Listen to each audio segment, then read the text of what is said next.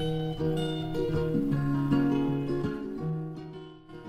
Atthis I wrote May 13th, 1969. And I had just left oh, Boston, and I'd been living down in New York too. And Mayor Lindsay uh, had sent these cops into gay bars where they would imitate gay guys, and as soon as the guys went outside, they would bust them. Now that was called entrapment, but it wasn't called entrapment then. So there were many things, you know, being thrown out of college, always having to hide who you were. It got me so damn angry that one night when I arrived in Los Angeles, California, it was the first night I arrived, I wrote Angry Atthis. And it just came spewing forth. It just talked about everything that I was angry about of not being able to hold my lover's hand. We're not child molesters. We're not this. You know, we're not that. And I just figured, well, the best way to put it sometimes was in a song. And this was prior, as you know, since it was May 13th, prior to the gay movement as we know it today. But it was in the air. I mean, what happened, uh, you know, in Stonewall on Christopher Street in the end of June, it was in the air. It was bound to happen.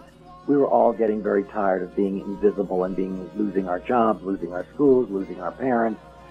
So does that kind of uh That's a pretty good start. Where did you get the title for the song? All right, Atthis is one of Sappho's lovers.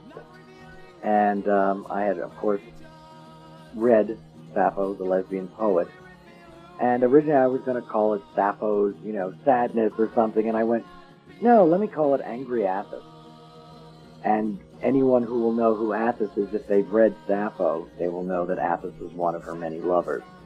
So, and when you also look at the words, if you look at Angry Atthis, which is spelled A-T-T-H-I-S, it also, if you separate the words out, it becomes Angry at This.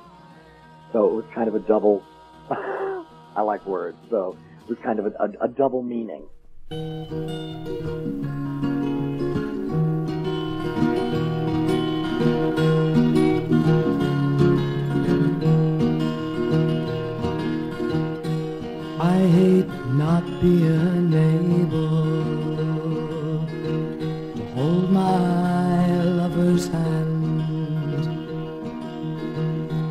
Under some dim lit table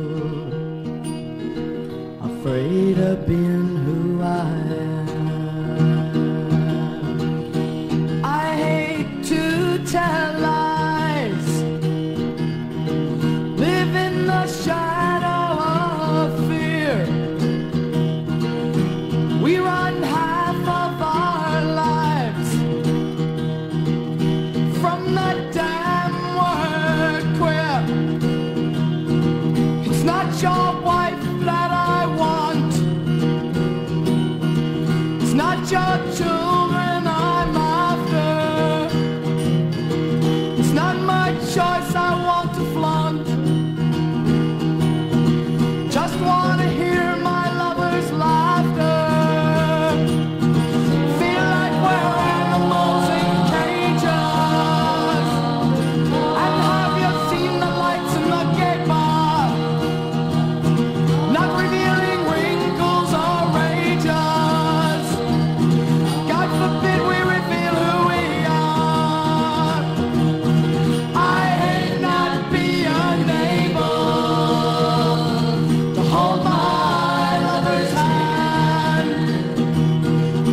Some dimly lit table,